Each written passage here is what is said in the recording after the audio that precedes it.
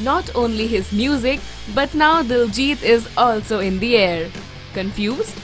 Well, Punjabi singer and actor Diljit Dosanjh is enjoying the new phase of his success by gifting himself a private jet.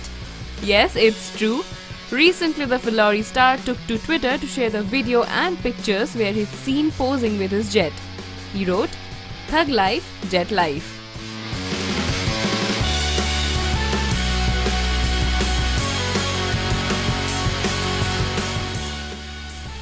Doesn't it make you feel envious? Well, after Jatt and Juliet, it'll be great to see the actor star in a film named Jet and Juliet. What say?